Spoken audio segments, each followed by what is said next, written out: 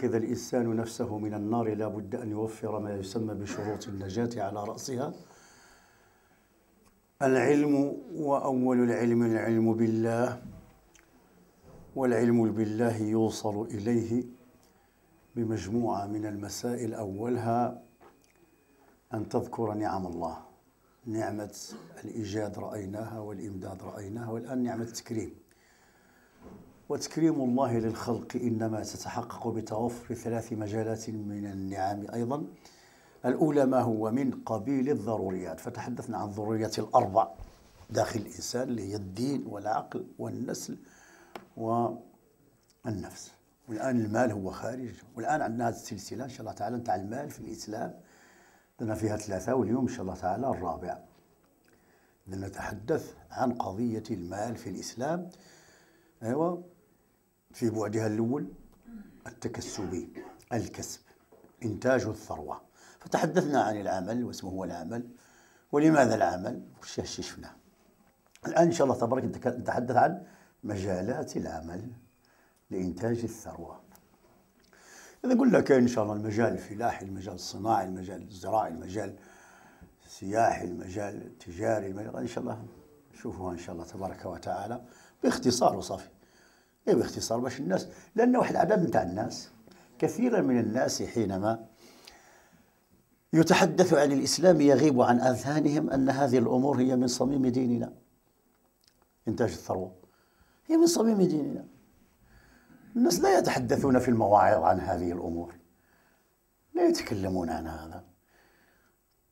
كأن الإسلام لا علاقة له بالعمل بإنتاج الثروة بالحضور. هذا أمر ينبغي أن يصحح. فنحن الآن نتحدث عن إنتاج الثروة. إنتاج الثروة بالوسيلة الأولى اللي هي العمل زائد رأس مال زائد الوقت. إذا هذه معادلة. العمل زائد رأس مال زائد الوقت. الوقت الذي يستغرق في الإنتاج. نبدأ إن شاء الله تعالى بالعمل الفلاحي. يا كاسي الفلاحي. فلاحي زين؟ والزراعي. ما الفرق بين العمل الفلاحي والزراعي؟ شكون يقول لي اسمه؟ الفرق ما بين الزراعي والفلاحي.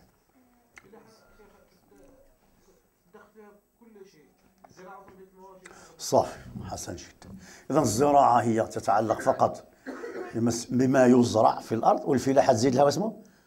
المواد تربية المواشي والدواجن والسمك وكل كل ها؟ كل ما يتعلق بهذه الأمور. اذا الفلاحي هو أشمل. فكل زراعي فلاحي وليس كل فلاحي زراعي لأن الزراعية جزء بسيط من الفلاحة. الفلاحه كدير الفيرما تغرس الشجر ويكون عندك الدجاج يكون عندك بيبي يكون عندك العجل يكون عندك آه، النعاج يكون عندك الخيل يكون عندك الحمير يكون عندك البقر وهكذا. إذا فنتحدث اليوم عن إنتاج إن شاء الله تبارك وتعالى الفلاحي والبداية إن شاء الله الزراعي بإذن الله تبارك وتعالى. إذا فالعمل الزراعي هو عمل وهو التماس الرزق بواسطته من خبايا الأرض والأرض هي أمنا وهي مصدر كل إنتاج فوق الأرض وتحت الأرض فوق الأرض وتحت الأرض وفي الأرض زيد واسم أخر البحر البسيطة فيها واسمه فيها إن شاء الله تبارك وتعالى البر وفيه البحر. فالناس يلتمسون الرزق إما من البر وإما من البحر. تستخرجون حلية تلبسونها ياك.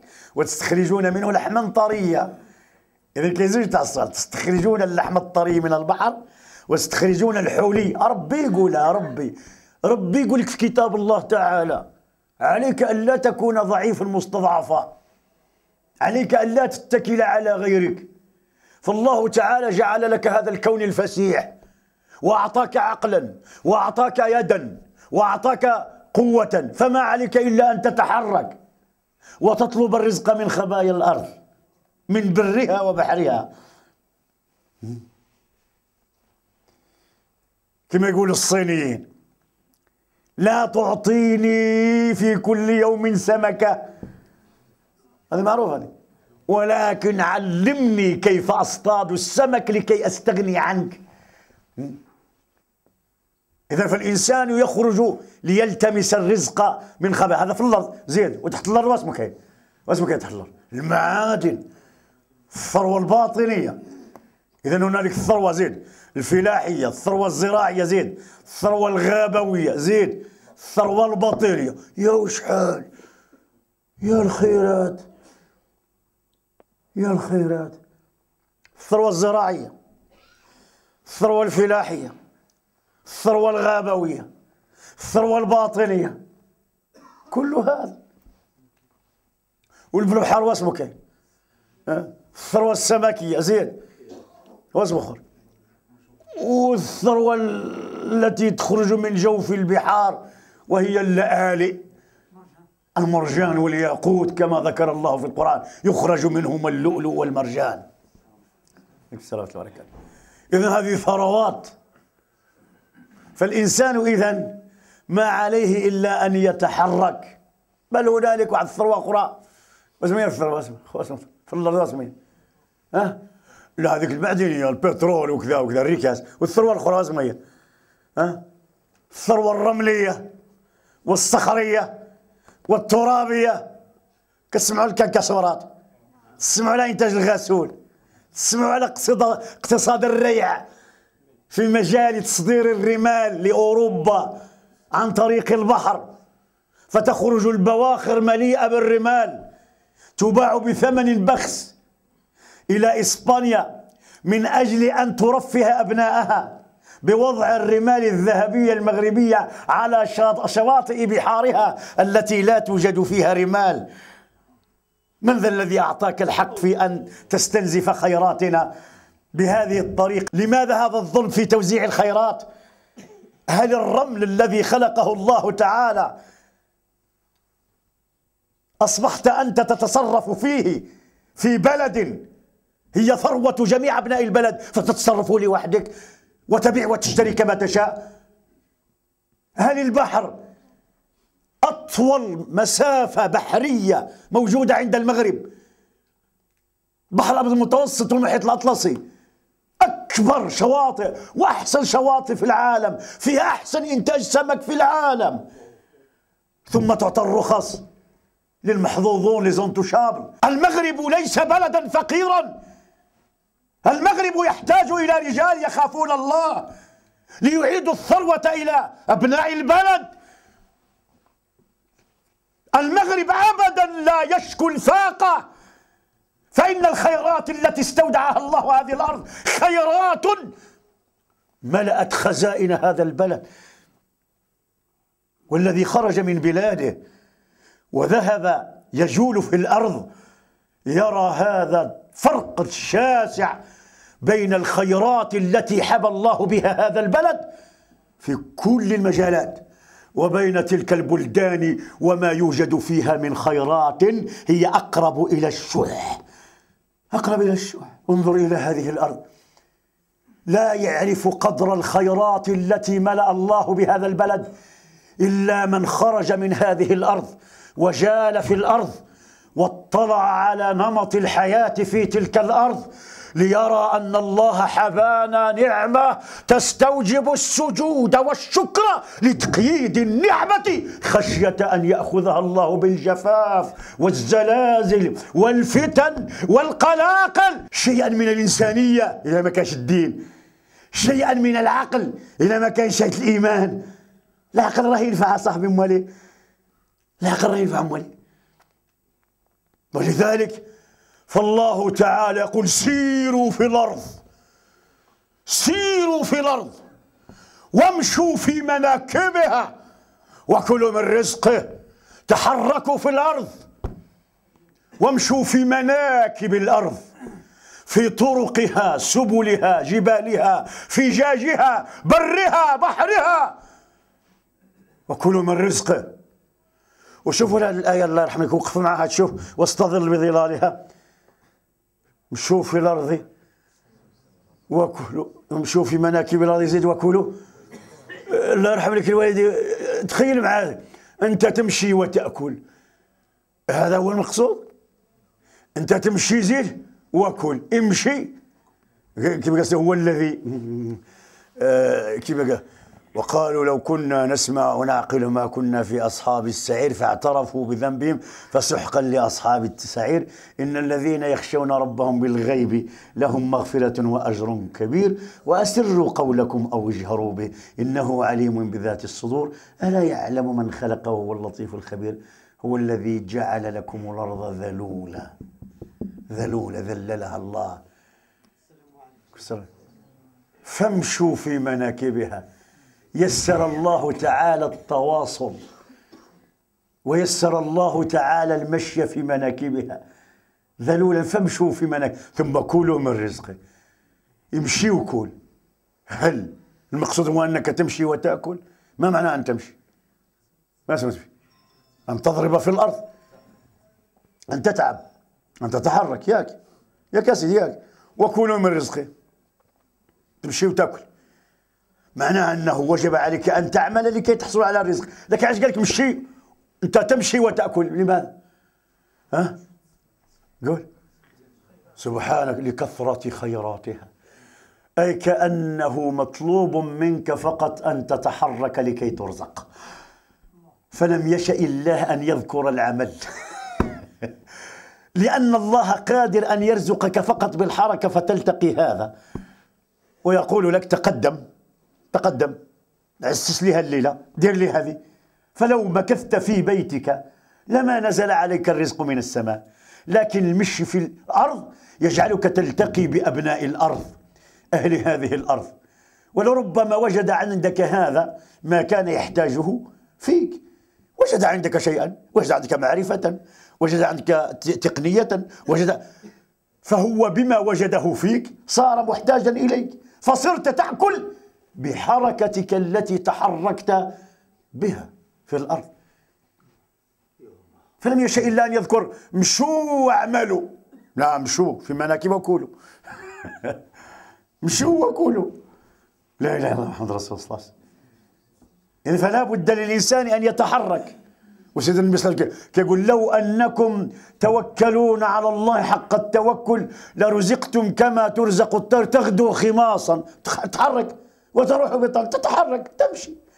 تتحرك. لو لم تتحرك لما التقت في السماء بهذه الحشرات التي صارت طعاما للطير. فالحركة هي التي أوصلتها إلى هذه النتيجة. سبحانك يا ربي سبحانك. إذا فتحرك. تحرك في الأرض. اعمل في الزراعة. بورية وسقوية. لابد أن تعمل. ديروا تعاونيات للشباب العاطل. أصحاب الشواهد. يعطون الأرض. ومن أصلح أرضا فهي له. قال رسول الله من أحيا أرضا مواتا فهي له. انظروا إلى رسول الله كيف كان يشجع الشباب. من أحيا أرضا مواتا فهي له لأن أراضي الدولة واسعة. ربما عياذا بالله صارت مهملة وصارت صحراء قاحلة فتأتي أنت لإحيائها لتشذيبها ونزع كل الشوائب فيها وحرثها وقلبها وترطيب تربتها وتسميدها. وسقيها. فإذا بك تحييها فإن أحييتها فأنت أحق بها. وإن أي إنسان يمتلك في الأمة أرضا واحتاجت الأمة لزراعتها ولم يرد أن يزرعها قامت الدولة بسلبها منه وإعطائها لمن يحرثها. فنحن لا نترك عندك الأرض فقط لكي تتفرج فيها. عندكم الخبر هذا ولا ما عندكم الخبر؟ الدولة الدولة وهي تحمل أمانة أن زيد تطعم جميع الأفواه لكي تستقل في قوتها. إذا كانت ثمة أراض بيد بعض الناس الكسالى والأمة تحتاج لحرثها حتى تحقق الكفاية التي هي فرض كفاية على الأمة. فلم يقم هؤلاء وجاءهم الإنذار من الدولة المسلمة ومن حاكم المسلمين. فلم يأتمر ولم يتعظ ولم يقم بما وجب الله عليه من حرثها هنا تدخل السلطان. فإن الله يزع بالسلطان ما لا يزع بالقرآن. فنزعها منه وأعطاها لمن يحرثها. فالأرض أرض الله والعباد عباد الله. والله رزقكم هذه الأرض لإطعام عباد الله. ثم استأمنك يا عبد الله على هذه الأرض لكي تقوم بواجب زرعها حتى تؤتي أكلها لكنك امتنعت عن تأدية الواجب لتحقيق اكتفاء الذات للأمة. فوجب على السلطان أن يتدخل بما أعطاه الله من صلاحية وبما حمله الله من أمانة تحقيق الاكتفاء الذاتي في الفلاحة والغذاء ضروري فنزعها منه وأعطاها لمن هو أحق وأهل لذلك. نار. من اللي تخرج من وجدة؟ إلى القرسيف. والأراضي معطلة. معطلة! من نبقى نشوف فيها نقول يا لو كان كانت الشينوا هنايا يا لو كان كانت الجابون هنايا. والله لتحولنها إلى جنان.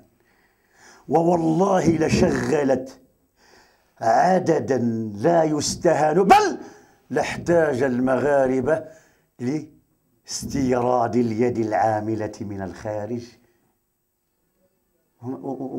وما يكفيش. ما يكفيش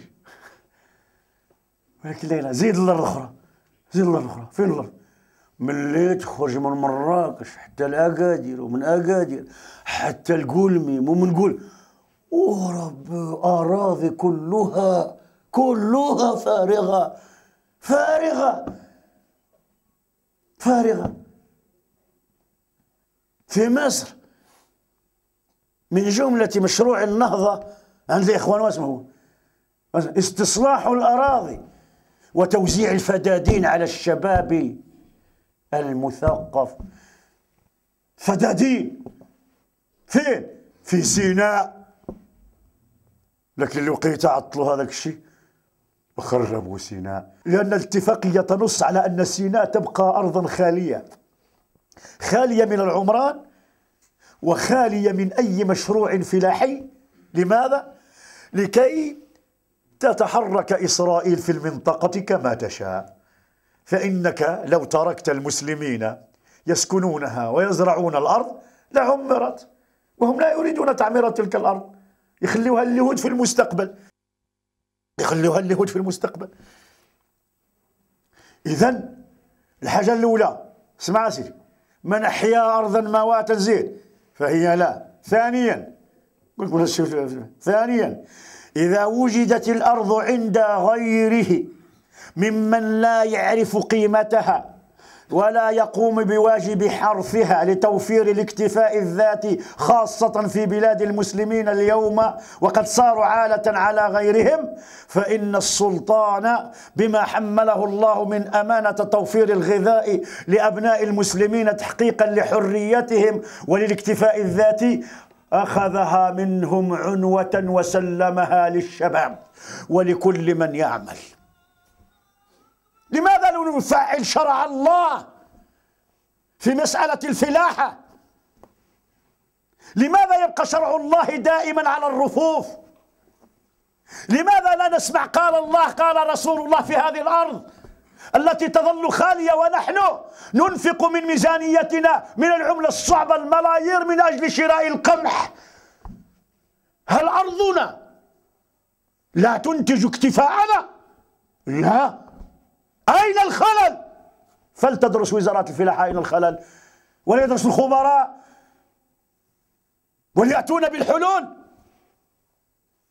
مرسي في عامه الأول. كان الهدف الاستغناء عن القمح الأمريكي. فأسقط ثمنه في عام حتى جاءت أمريكا تركع في القاهرة. متى كانت أمريكا تأتي لكي تركع في القاهرة؟ وتقول ما تحرثوش هذاك الشيء. خلونا نعطيكم القمح بذاك الثمن. وأنتم مصر نهودوا لكم الثمن. غير خلونا نبيعوا القمح لتلك الدول بالثمن ديالنا. لماذا تقومون بتخفيض أثمنة القمح في العالم؟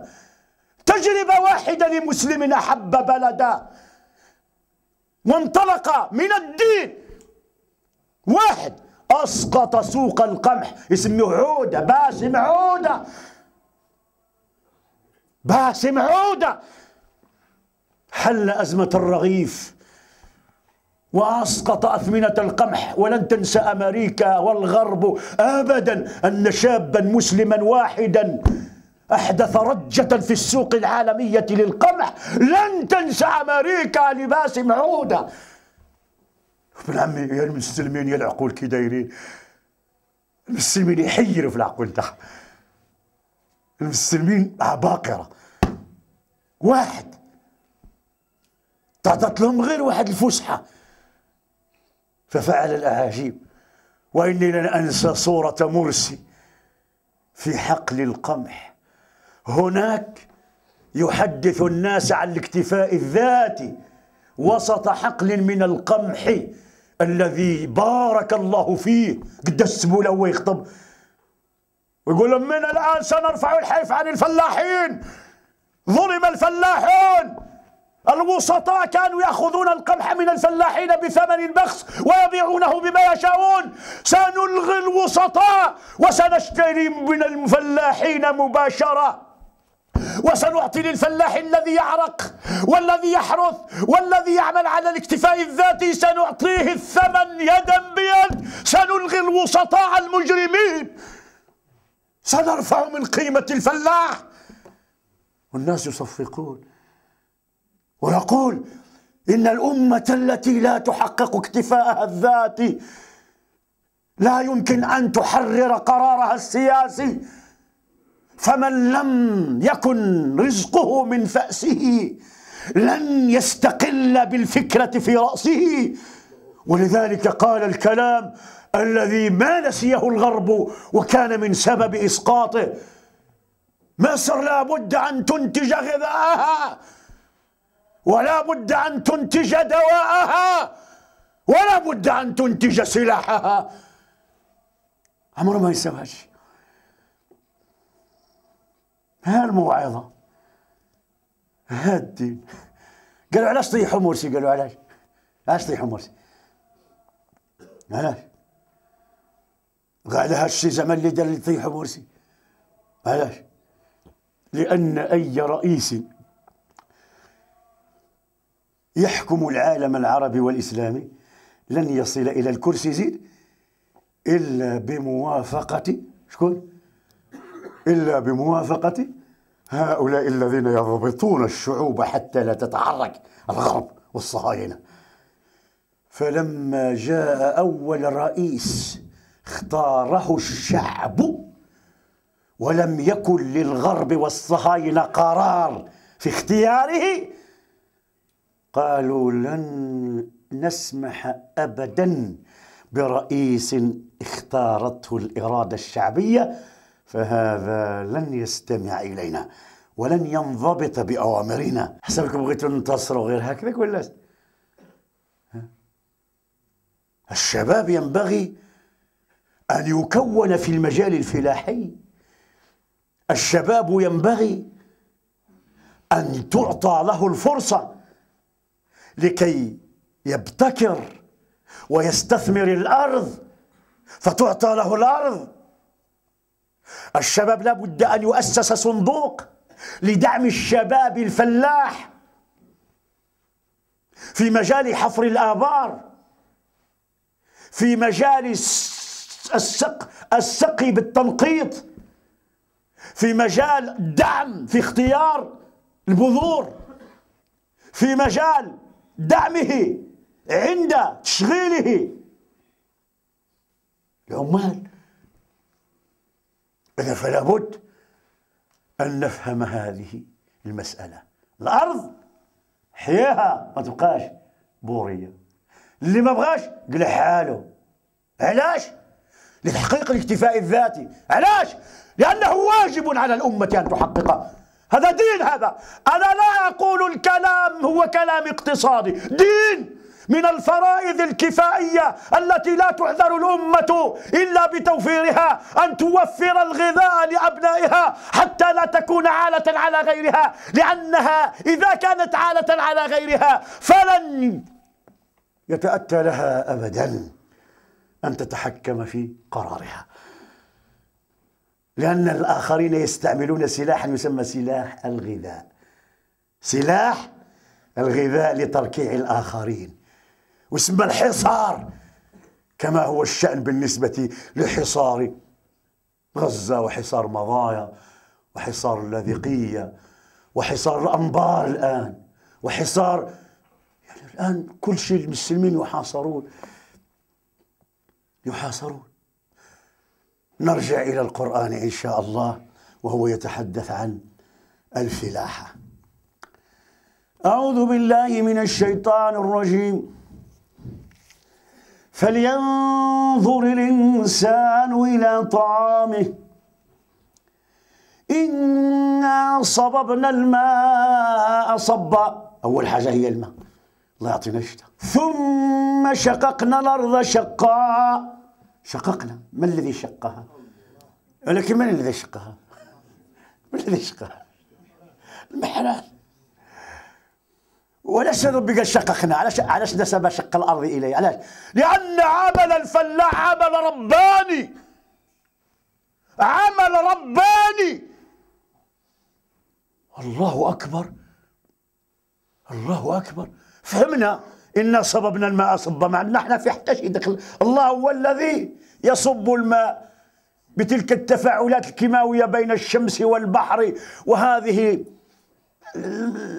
طبقات في السماء والبرودة وكذا. أنتم راكم تعرفوا تقراوا الكيمياء وراكم فاهمين هادشي. ولكن ثم شققنا الأرض شقا.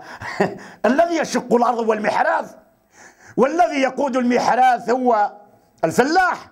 فكيف ينسب الله عملا يقوم به عبده فينسبه له إذا نسب الله شيئا يفعله الإنسان ونسبه إلى الله وإنما ذلك لمنزلة ذلك العمل عند الله.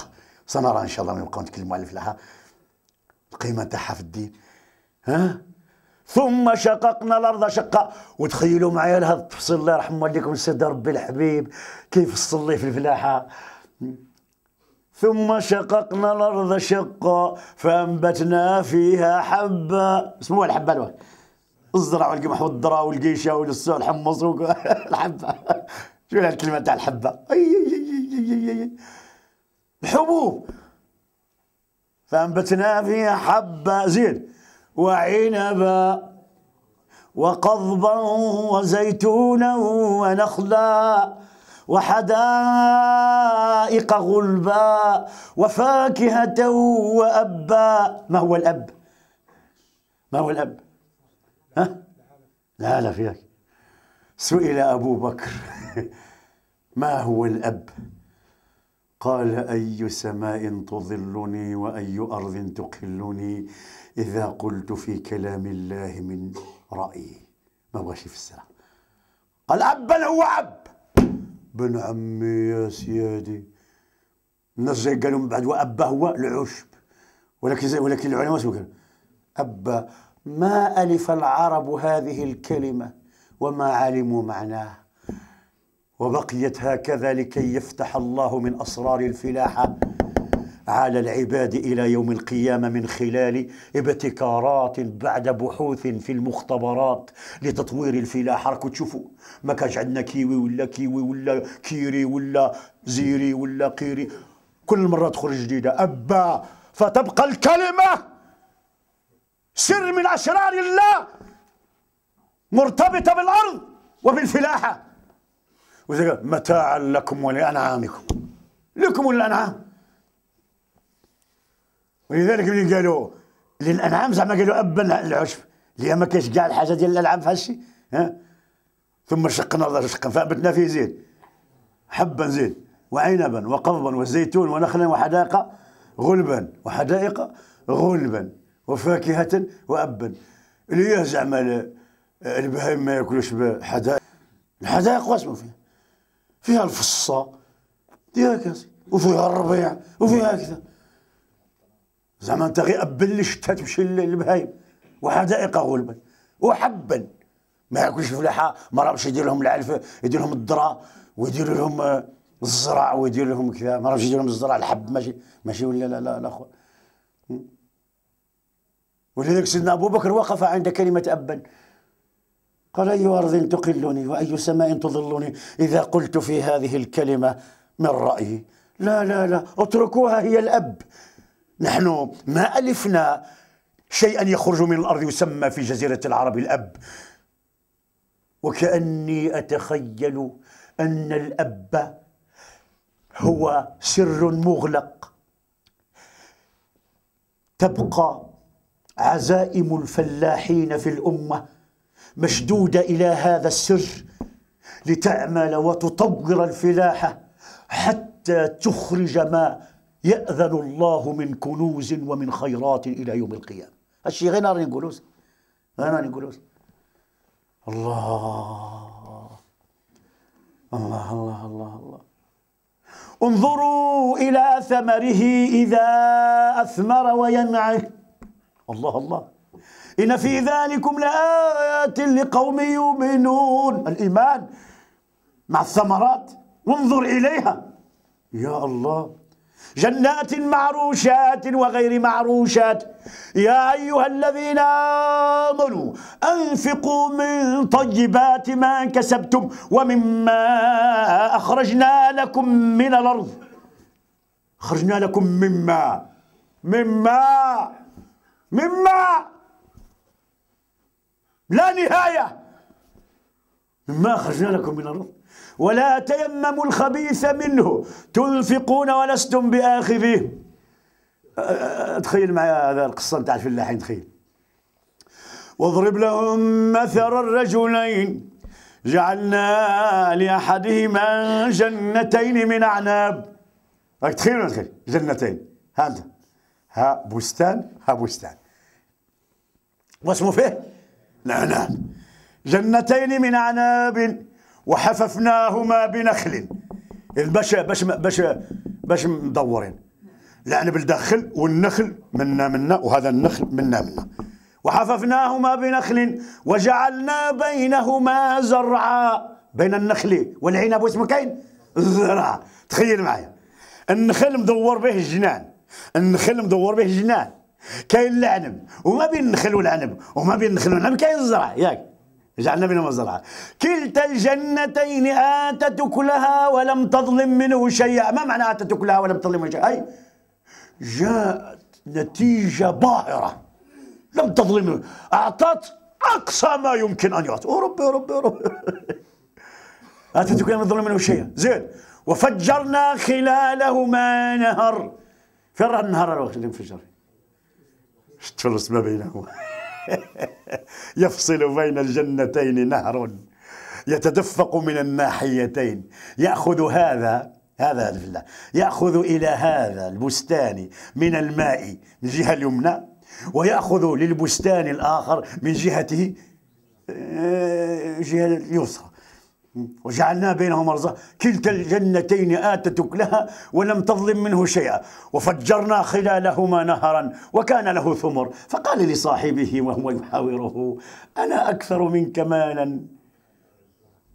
وأعز نفرا. ودخل جنته. وهو ظالم لنفسه. الكولون كل شيء تبارك الله؟ العنب النخل الزرع الماء دخل وهو ظالم نفسه. قال ما أظن أن تبيد هذه أبدا. غيعطي النار بشوية شتا وتخضر الدعوة. نقول لهم كيصرى لهم هاد المسلمين يخرجوا كي نساء كي رجال يعريوا رواحهم والعملة يقول لهم يا ربي خليوا بعدا غير نفرحوا يا صاحبي. لماذا هذا البطر؟ علاش علاش ديروا لنا الخدمه علاش؟ غير نبقى نشوف هكذاك وتبان لي الآية. دخل جنته وهو ظالم لنفسه وش العرش شفنا العجيب صاحبي؟ وش ربي يعطيك النعيم وانت تقابله بهذا الفجور؟ بدل أن يشكر الإنسان ربه على النعمة حتى تتقيد وتستمر وانت كدير هكذا. إيش الغريبة هذه؟ كل ما يعطينا ربي الخيرات يبقاو يخرجوا الراجل مع المرأة ويدخلوا في الربيع ويبقاو يديروا الفواحش. لأن يغطيهم الربيع ودخل جنته وهو ظالم لنفسه. قال ما أظن أن تبيد هذه أبدا. زيد وما أظن الساعة قائمة. ولئن رددت إلى ربي لأجدن خيرا منهما منقلبا. قال لصاحبه وهو يحاوره أكفرت بالذي خلقك من تراب؟ ثم من نطفة ثم سواك رجلا لكن هو الله ربي ولا أشرك به أحدا ولولا إذ دخلت جنتك. قلت ما شاء الله لا قوة إلا بالله أعطاك ربي الخير أحمد الله. قل ما شاء الله لا قوة إلا بالله. لا تقابل نعمة الله بمبارزة الله بالعصيان. إن جحودك وكفرانك بالنعمة يؤدي إلى زوالها. ضرب الله مثلا قرية كانت آمنة مطمئنة يأتيها رزقها رغدا من كل مكان فكفرت بأنعم الله فأذاقها الله لباس الجوع والخوف بما كانوا يصنعون. مالك تدير هكذا مالك لا حول ولا قوة إلا بالله. ألا تتخيل حينما يشرف الإيمان على حراثة الأرض وبذرها أتتصور كم تخرج من خيراتها بإذن ربها؟ ما هو إن شاء الله تعالى بالنسبة لك؟ ما هو إن شاء الله تبارك وتعالى المنتوج الأقصى في الأرض كما يحدده القرآن؟ إذا أشرف الإيمان على حراثة الأرض إذا أشرف المؤمن على عمارة الأرض واستصلاحها.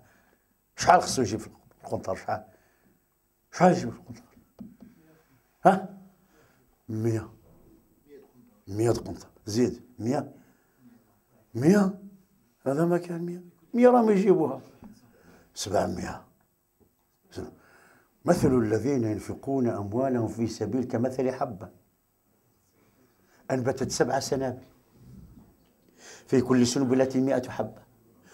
وشحال الحبة خلات سبعمائة حبة. والقنطار شحال سبعمائة حب. قنطار. معناها أن الآن أقصى منتوج ديال القمح هو 75 غلال 100 شحال باقي له؟ سبق باقي في علم الله سبعة المرات. أي وصل كل هذه الاختراع والأسمدة والآليات. فين وصلوا كاع شوف شوف شوف القرآن البعد اللي كيعطيك ديال المنتوج شوف القنطار ب 700 أنت فين وصل؟ مخير. إحنا ملي كنا نحرثوا شحال كنا نجيبوا في القنطار؟ كان عندنا واحد القمح يقولوا القمح ديال الميط نجيبوا 12 من بعد ولينا نجيبوا 15 في الستينات. من بعد جاب لنا واحد بقينا نجيبو بالمكسيك. واحد الزريعة يقول لها الزريعة تاع المكسيك بقينا نجيبو 30 منين كنا نجيبو 30 قنطار تاع القمح قلنا سبحان الله لم نكن نتصور ذلك. شوية شوية جاي واحد رقيق 50 الله أكبر. من 12 ل 50 في مدة ما بين 60 إلى 70 من القرن الماضي. وهذا عشته أنا كنت في الله أكبر. الآن راهم يوصلوا 100 وشحال باقي لك؟ 600 قنطار ضايعة 600 قنطار. شو البعد ديال القرآن؟ حينما يشرف الإيمان على حراثة الأرض على بذر الأرض على استصلاح الأرض. سبحانك ربي سبحانك. إذا فالقرآن مليء. هذه النقطة الثالثة. القرآن مليء بالحديث عن الزراعة وعن ما يخرج الله من هذه الأرض وعن بركات الأرض. ولو أن أهل القرى آمنوا واتقوا لفتحنا عليهم بركات زيد من السماء. زيد والأرض من السماء والأرض. الإيمان يولد البركات. لن تبقى ابدا حسابات. وأرقام جافة. كما هي عند العلمانيين. لا المؤمن في علاقته مع الأرض علاقة الإبن مع أمه. والأم يبر يبر الأم. الولد يبر الأم. فأنت حينما تصلحها تعمل ذلك بحنان بحب. لأنك تعبد الله. ولأن الله نسب شق الأرض إليه ليرفع منزلة الحرث. كما قال سيد ربي سبحانه عز وجل. فنفث فنفشت فيه غنم القوم الحرث. نفشت فيه غنم القوم. وإذا به يحكم بينهم شكون؟ داود ويحكم داود ثم يحكم بعد ذلك سليمان. ففهمناها سليمان. شكون يعرف القصة هذا هذا في اللحزين حدث ياك. يا قصدي وجا الآخر الغنم ديالو زيد وكلات له مشى هذاك مول الفدان. رفع الشكوى إلى داود. بماذا حكم داود؟ ها؟ أي يقيم شحال؟ كلالو الثمن يقيم شحال؟ نعاج. ويعطيه قيمة ما أكلت الأغنام من قمح. يعطيه له نعاج. ومنين جا سيدنا سليمان؟ قال حكم عليكما أبي؟ قال نعم. قال بما؟ فقالوا حكم بكذا وكذا. فقال أما أنا فلا سأعيد الحكم بينكما. كده له كده له أعطى لصاحب الغنم الأرض. وأعطى لصاحب الأرض الغنم. صاحب الأرض زيد يستغل الأغنام صوفها ووبرها ولبنها وزبدتها. اسمه جاء؟ يزرعها حتى تصير إلى ما كانت عليه قبل أن تنفث تنفش فيها الغنم. أي قبل أن تدخل إليها الغنم لتفسدها. فحينما يصير الفدان كما كان قبل أن تدخل الغنم أمر صاحب الغنم برد الفدان لصاحبه وأن يسترد صاحب الأغنام غنمه قال ربي ففهمناها سليمان. وكلنا اتينا حكما وعلما. يا الله. سبحانك يا ربي سبحانك. لا إله إلا الله محمد رسول الله فالقرآن مليء بالحديث عن الفلاحة عن الزراعة عن كل شيء. اولا ندخل إن شاء الله شوي شوي إن شاء الله اولا كيف يسمى العمل داخل الأرض؟ كيف يسمى العمل داخل الأرض؟ هذه الحركة داخل الأرض. عبادة ابتغاء الرزق. هي عبادة نعم. اللي يحرث واللي ينقي واللي يسقي واللي هذه عبادة. مزيانه متى يكون هذا العمل عبادة كما قال؟ ومن أرفع العبادات. ها؟ زوج الصوالح فيها اولا ما يتعلق بالأرض والثانية ما يتعلق زيد بالبذر والعمل. اولا الأرض. الأرض. فكل حركة في الأرض حرثا وبذرا لأرض مغتصبة مأخوذة ظلما من أصحابها.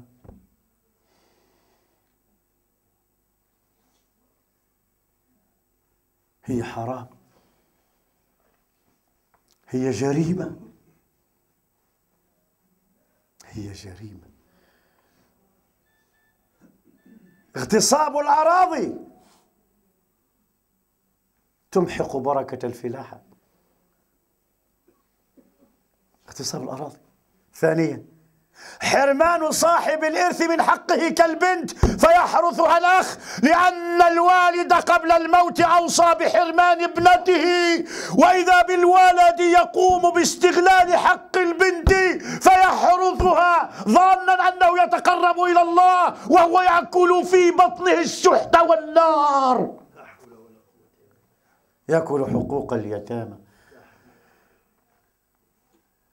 يا لطيف يمحق الله الفلاحة إذا كانت الأرض أرضا مسروقة أو مغصوبة أو أخذت عنوة من صاحبها أو أخذت مكرا وغدرا والالتواء عليها من قبل القانون أو حرمان صاحب الإرث منها كما هو حال البنات. جاب لي هاد السيمانة واحد السيد ملف كامل في المحكمة. لا إله إلا الله من الأول غير التالي. كيف أن كل هذا الجدود من جد ثالث. داير قال لك وصية يمنع البنات إلى يوم القيامة من حقوقهن. وهذا ولد البنت واسمو يدير؟ واسمو يجري في المحاكم وما عطاولوش كاع الحق ديالو. قال لي زعما واش بيقول الشرع قلت له الشرع إذا كان القاضي يخاف الله يقول. حتى فرضا لو أن الجد وصى بتحبيس الأرض على الذكور يقول القاضي اللي خاف الله حكمت المحكمة بسم الله وباسم شرع الله. أن هذا التحبيس حرام لا يجوز فلا يمكن للشرع أن يقر عياذا بالله حرمان مسلم أو من مسلمة من الإرث الذي قسمه الله من فوق سبع سماوات لم يكل قسمته إلى ملك مرسل ولا إلى نبي مرسل ولا إلى ملك مقرب. فهذه وصية باطلة مع أن النبي يقول لا وصية لوارث فهي باطلة من كل الوجوه فيحكم باش بإعادة قسمتها كما قسمها الله. لا ينظر إلى الأوراق. لا حول ولا قوة إلا بالله. فالأرض المغصوبة إذا بنيت فوقها مسجدا وأنت تعرف أنها مغصوبة فقد ظلمت. ولو بنيت فوقها زيد مسجدا. ها؟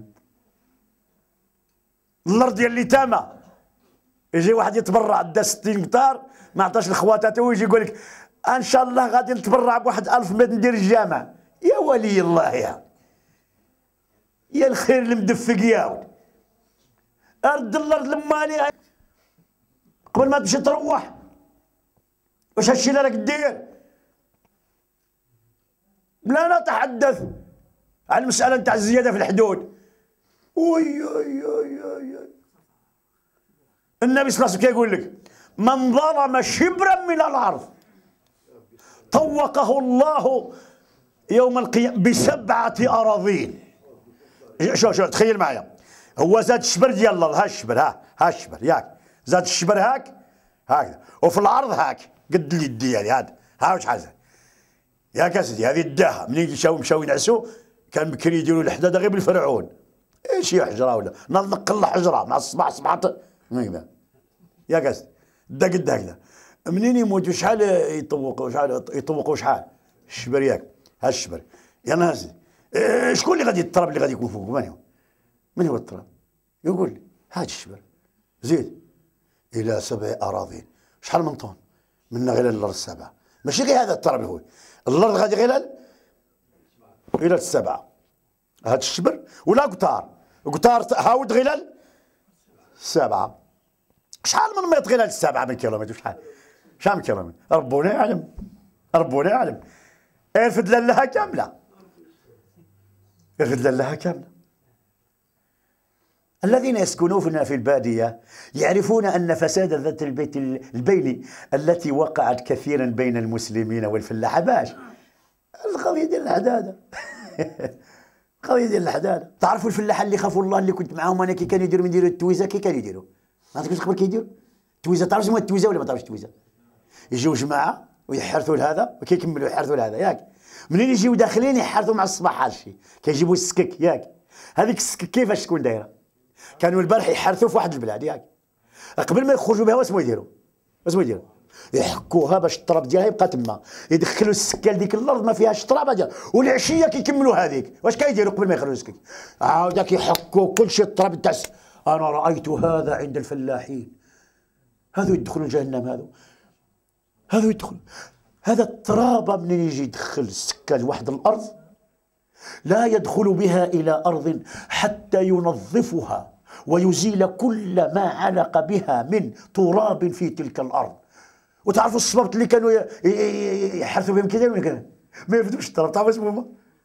كيسموا كنا نسميهم بو عفاس واسمه بو عفاس أنتم هذا الشيء ما راكوش عاقلين عليه حنا اللي عشنا. واسمه بو عفاس أنا كنت غير نشوف هاد الكبار يديروا هذا الشيء وحتى من بعد راني عاد نفهم. وعلاش يديروا بو عفاس بو عفاس واسمه هو؟ ابو عفاس هو غير ذاك الدوم الدوم الدوم يديروا به النعاله وهذاك الدوم ما يرفدش التراب. يعني يتمشوا بحال كي يخرج التراب لا يعلق بالدوم. قلت سبحان الله واش قلت الاحذيه لا قال لك لا. إذا دخلنا إلى الفدادين نتاع الناس الآخرين لا ندخل بالأحذية لأن الأحذية تلتصق بها التربة. فإذا خرجنا من تلك الأرض خرجنا بتربة تلك الأرض وقد نمشي في أرض أخرى في يا تقوى الله. ما هذا يا رب؟ ولذلك كانت الشتاء والغيث ينزل بالليل وفي الصباح تشرق الشمس. أقسم بالله الذي لا إله غيره. أقسم بالله لكانت الشتاء والغيث ينزل طيبا مباركا بالليل ومع الصباح تشرق الشمس. لا إله إلا الله. لا إله إلا الله. والله منين كنت ندخل في الفول والله ما نبان والله منين كنت ندخل. في الفدان ديال الزرع ولا ديال الجبل والله لا أستطيع أن أقطع. الخيرات. الخيرات. لا يمكن للإنسان أن ينسى تلك الأيام ابدا. ولذلك الأرض المغصوبة. الزيادة فاش. في الحدادة. قال رسول الله لعن الله من غير زد تخوم الأرض ملعونة صاحب. لعن الله من غير تخوم الأرض. الحدادة اللي كيدل الورث الرجال. اللي كيخون اللي كيتحايل بالقانون. كيسقسون الناس على المال المغصوب وشحال تاع الأسئلة. وعلى الموبيلات اللي يديوها. لانهم ما عندهمش الكواغاط والديار اللي ما يقدروش يخلصوا ماليهم. اقتص السيزي السيزي كاسب السيزي يا الله المال المغصوب واش غادي نقول لك وصافي؟ أنا غادي نقول لكم غير كلمة واحدة راك واحد الصغار الله يفتح لكم من رزقه. طيب نقول لكم واحد الكلمة باش ما تظلوش تسقسيوني دائما على المال المغصوب. الموبيلات والبسكليتات واللواطه والكسوة ولي بياس والمواتر اللي يجيو من الحداده ويديوهم ويجيو يبيعوهم نعم سيدي. والديار اللي ما قدرش مالهم يخلصوا الكريديات ويسيزيوهم نقول لكم غير كلمة واحدة. لا أحلل ولا أحرم فإن الله يعلم الحلال من الحرام. لكن نصيحة ابتعدوا عن هذا المال. ابتعدوا عن هذا المال. لعل الطريقة التي أخذ بها طريقة ظالمة. لأن كثيرا من الضعفاء لا يستطيعون أن يحافظوا على أموالهم وخاصة حينما يغلب الظلم ولا يجد الضعيف كيف يدافع عن حقه. على 20 دور ولا 200 دور يديو له مسكين ما عندوش. يديو له داك الشيء. على 200 دور يتسيزي له داك الشيء. دخل السيزي. أنا نقول لخوتي الله يرحم والديكم بعدوا على السيزي. بعدوا على السيزي ما يبان لكمش الربح راه الا بعت السيزي وربحت. راه مولاها منين يشوفك؟ نعم سيدي كتعامل له في المال ديالو. ولأنه ضعيف وحيل بينه وبين حقه عن طريق قانون جائر. سيدعو عليك ودعاء المظلوم ودعاء المظلوم يرفعه الله فوق الحجاب. أنا نقول لكم غير الكلام كان وصل المسائل المغصوبة الأرض المغصوبة والدار المغصوبة والكسوة المغصوبة والمواتر المغصوبين والأموال المغصوبة. أنا نقول لكم الله يرحم والديكم. واش ما عندكش نعم سيدي كاع شي حاجة أخرى اللي تمشي لها؟ روح أخويا راه كاين البديل. ما تمشيش لهذا الشيء. دائما يسقسيوني الناس على شيء ما تمشيش على شيء بعد هذا الشيء. ما ندخل معك لا في حلال ولا في حرام. بعد هذا الشيء. لو كان كانت الدولة تعطي الحق للصغير والضعيف ذاك الوقيته بنادم يشوف. أما وحالتنا على الحالة التي تعرفون فإن الراجح والذي يميل إليه العقل أن هناك ظلم بين فلا ينبغي أن يدخل على ظلم ويساند الظالمين. لا إله إلا الله. إن شاء الله تبارك وتعالى رحنا اليوم بغينا غير نوصلوا شيء فكرة اليوم آه، باش نعقلوا بإذن الله تبارك وتعالى. الفلاحة بدينا بالزراعة. إن شاء الله تعالى تكلمنا عن الأرض. وجب إحياؤها ومن أحياها زيد فهي لا. والأرض التي تملكها والأمة تحتاج إلى ما يكفيها وأنت لا تحرثها تؤخذ منك عنوة. ثم تحدثت عن آيات في كتاب الله تتحدث عن فضل الفلاحة. باش تقولوا لي القرآن راه ما تكلمش على الفلاحة بل تكلم حتى على أقصى منتوج يمكن أن يصل إليه البشر على الأرض بعد أن يفتح الله له مما في خزائن الله من علوم ها؟ 700 وبديت نتكلم إن شاء الله تبارك وتعالى على الأرض التي تحرث. شكون هي؟ هي الأرض الصافية. ماشي مغصوبة ماشي نتاع الوراثة ماشي عرشية. ماشي. راك تشوف شحال تاع المشاكل ديال هذا الأرض شحال من الأرض راهم دقوا عليها الناس الان الناس كيطلبوا بحقهم؟ بزاف. ولكن خصك اخويا الأرض الله يرحم والديك تكون إن شاء الله مريقلة. ديالك ورثت حقك ما ديتش فوق حقك شريتها بفلوسك ديالك. ولا راك تشترك تشترك مع شي واحد تفلحها يعني بشي طريقة من الطرق ماشي مول الأرض عنده الأرض وانت عندك رأس المال وذا. باينة. باينة. أما تدخل الأرض المغصوبة ولا المال المغصوب ولا بعد أخويا الله يرحم والديك بعد. راه ما فيها بركة.